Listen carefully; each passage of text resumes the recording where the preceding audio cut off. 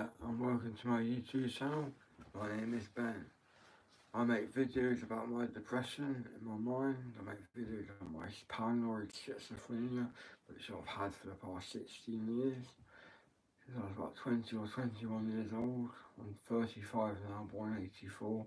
May 84, I'm not my birthday yet. But next birthday in May 26th, I'll be 36 years old.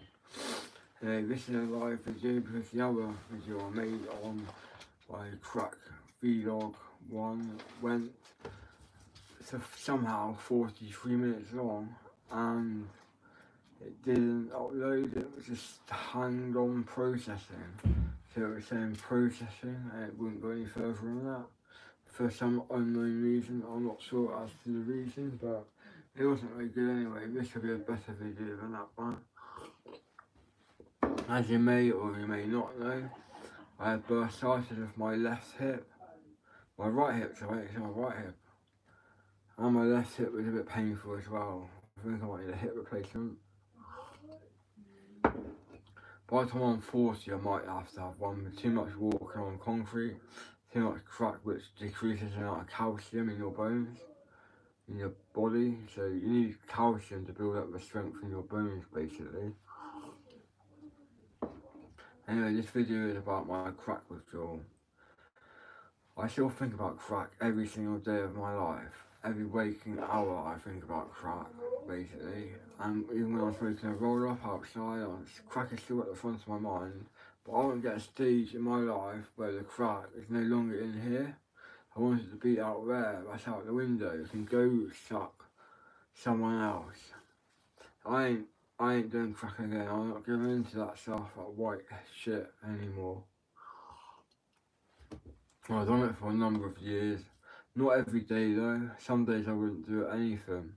I just take my Oxycontin because Oxycontin alone can really relax you and make you gouge out. I used to top it up with heroin sometimes, but not all time. I used to do Oxycontin and crack sometimes, but not very often. But when I did do it, it was a brilliant effect, I've got to admit that. Felt like I was running on, it felt like I was in a bubble and uh, no one could touch me in this bubble. Uh, but as soon as you come down, that bubble bursts and you're automatically with all down like everyone else in the world. Not as high as you can be, like flying above the crowd. You think you can hear other people's inner voices in their head, which is very strange.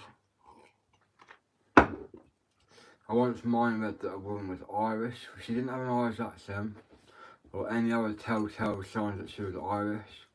Other than me and reading her mind, she was a nurse in hospital. I think she was called Amanda. And I, I think that's her name, Amanda, but I'm not 100% sure.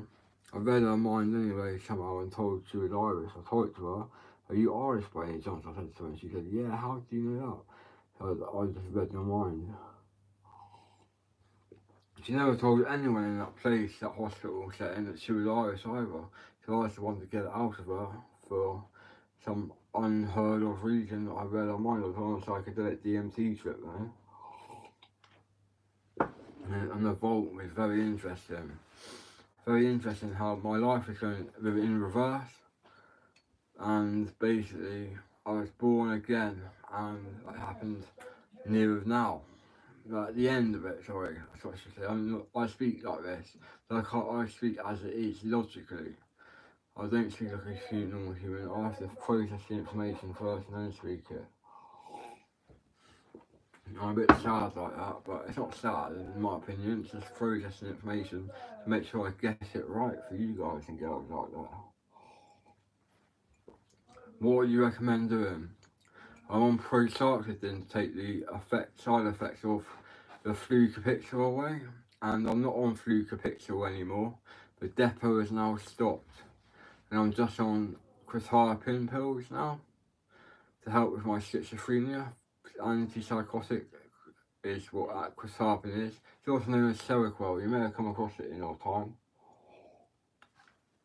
It's one of the first first atypical antipsychotics out there, like Abilify, like risperidone, it's a similar drug to risperidone. But quetiapine causes the most drowsiness out of all the atypical antipsychotics. In my opinion, from the ones I've tried, I've always always had the best outcome with Seroquel, which is quetiapine, obviously. I've always had the best effects with quetiapine. And I can get to sleep at night, every night, by 11 o'clock, and I wake up fresh as daisy at about 11 o'clock the next morning. Today I woke up at 6 in the morning, still dark outside, it might have been 5 in the morning, I can't remember now. Check my phone, I think it was 5.30, 5.40 in the morning, come up to 6 o'clock anyway. It was still dark outside, but I basically went for a pee in the toilet and then went back to bed again. Didn't get well getting dressed, I was going for a piss and then going back to bed again. So I got enough sleep last night. I must have 13 hours sleep last night. You still try getting a normal heroin like 13 hours sleep.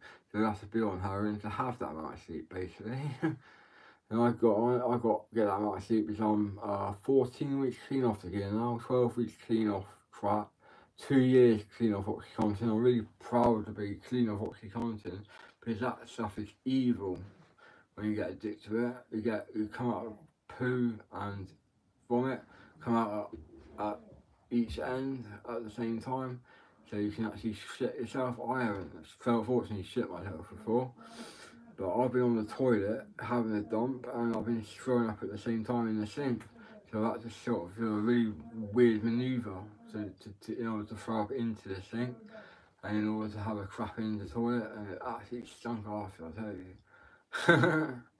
not funny but you know what I mean, you can't help it when you come off heroin and oxycontin at the same time, pretty much the same time anyway, you're bound to get shakes and you're bound to get withdrawal symptoms like diarrhea.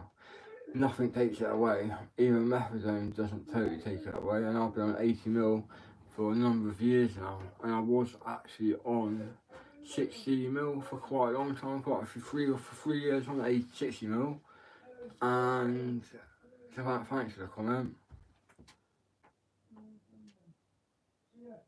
I couldn't quite read that. It's too small to read. I'll have to come back to you later. Sorry about that. Come on, commented.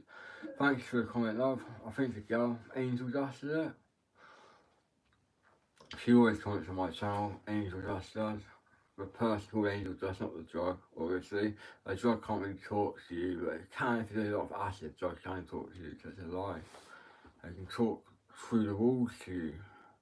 But otherwise, voices come through the wall to me. Looks like the wall's actually got, got a mouth and it's opening and closing to the word, to the way a car drives past. The lyrics of a song when a car drives past. The voices change into that engine note and the, the voice shimmer in and out, right? And up the note of the engine of the car, or the exhaust of the car. I think the exhaust of the car, I think. And this is really weird basically, I, have been stuck in the K-hole before as well, with no way out. I had to wait for it to wear off. I, luckily, I was in my bed at the time, but I wanted to be at the rave, but I, I had to sleep rough. But I camped. I, I slept in a tent, so it wasn't really sleeping rough. But that, that was quite a good time there for mates from college as well. I've had lots of fun in my life, as you can probably imagine. But now it's time to get clean. And I want to get off crack, it's been 12 weeks now. I plan to stay off it for the rest of my life and stay off it for the rest of my life, crucially. Because it's an evil drug. It swallows all your money. You might as well stick a 20 pound note in your crack pipe and then set fire to it.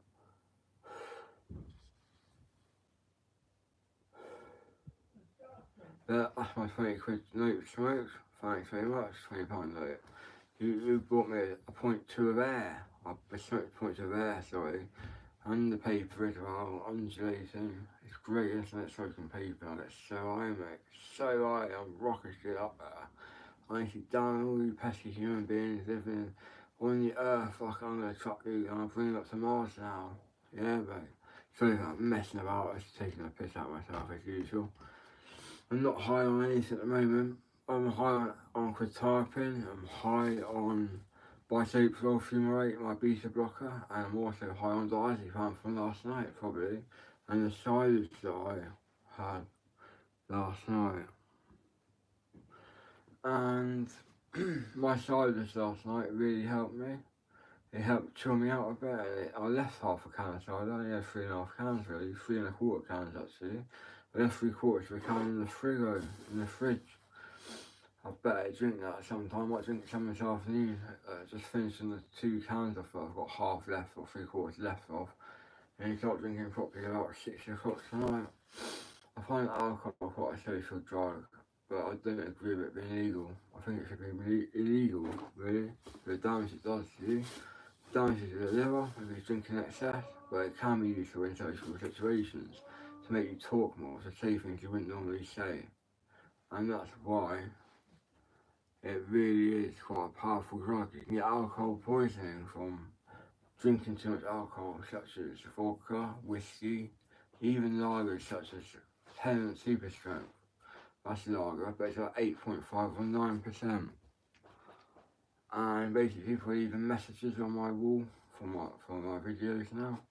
Right as I speak, I keep going to the camera to read them, but the writing is just too small to read. I can't read it, I need glasses, I think. I can't read the messages. So just message me and say I'll reply when this video is over if I see them.